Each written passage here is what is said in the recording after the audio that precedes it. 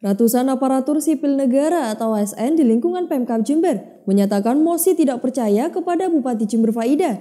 Pernyataan Mosi tidak percaya ASN berlangsung usai menggelar apel di Aula PB Sudirman Rabu pagi.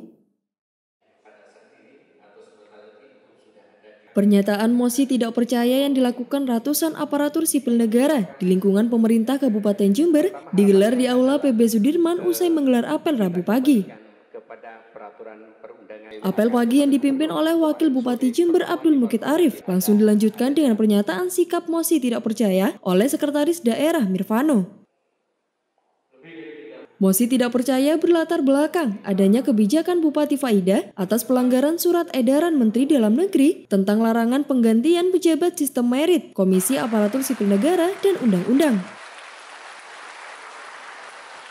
Dalam sambutannya, Mirvano mengatakan terdapat lebih dari 13 pejabat yang dimutasi dan 4 pejabat yang dibebas tugaskan tanpa prosedur yang jelas.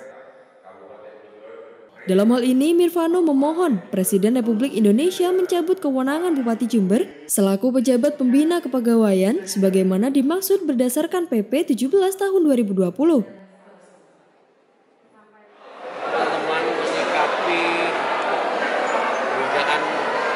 bupati agar tidak mendagri terkait dengan penggantian jabatan. Ada 13 orang, kemudian ada di antaranya ada dibebas tugaskan secara. Jadi kami tidak terlalu lelah untuk terus-menerus menghadapkan ada pelanggaran-pelanggaran aturan sehingga puncaknya adalah pada hari ini. Usai membacakan tuntutan Mosi tidak percaya, ratusan ASN membubuhkan tanda tangan bersama disaksikan Wakil Bupati dan Sekretaris Daerah. Saya mengharapkan kepada semua pihak di Kota Jember, khususnya keluarga besar pemerintah Kota Jember, untuk tetap menjaga kondusivitas ya Jember. Bahwa ada hal-hal yang perlu diselesaikan. Yang pertama, saya ingin menyampaikan bahwa apabila memang ada hal-hal yang dianggap uh, tidak sesuai dengan peraturan perundangan yang kembalikanlah kepada peraturan perundangan yang untuk menyelesainya. Kemudian yang kedua saran saya adalah Jember ini bagian dari pemerintah provinsi dan juga pemerintah dari pemerintah pusat.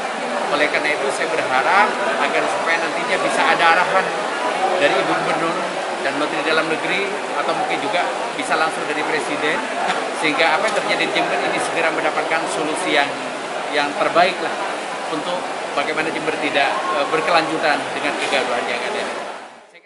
Wakil Bupati Jember berharap agar semua pihak, khususnya aparatur sipil negara, agar tetap menjaga kondusivitas sehingga kondisi ini bisa terselesaikan. Dari Jember, tim liputan mengabarkan untuk KJTV.